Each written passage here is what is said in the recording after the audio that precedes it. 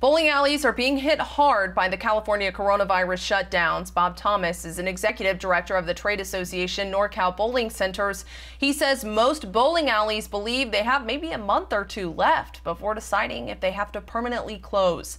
The bowling alley owners have been left off the state's reopening plans for months, while indoor dining, gyms, fitness centers, and movie theaters went ahead of them in line to reopen. Back in August, bowlers in San Diego rallied to call attention to concerns the industry would collapse if they did not reopen. State officials have described the reopening plans as slow and stringent. Katie Johnston for CBS San Francisco.